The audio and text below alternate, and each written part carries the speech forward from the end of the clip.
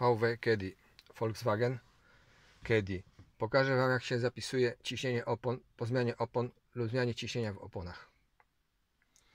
W instrukcji obsługi pojazdu pisze, że po zmianie ciśnienia w oponach należy przycisnąć na konsoli przycisk SET.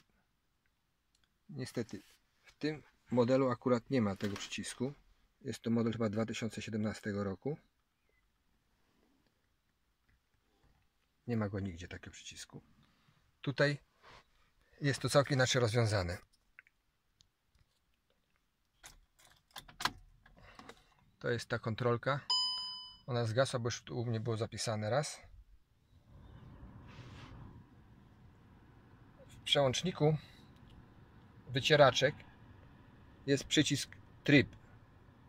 Górny przycisk trzeba nacisnąć i przytrzymać dłużej. O, pokazał się nam ustawienia.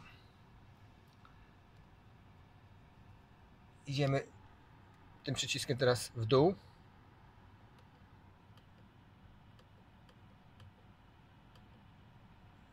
O, opony zimowe.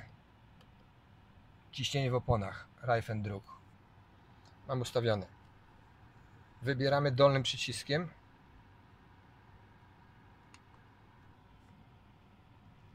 I jeszcze raz potwierdzamy dolnym przyciskiem Speichern, czyli zapisz. Schodzimy w dół na potwierdź. Na potwierdź. Potwierdzamy.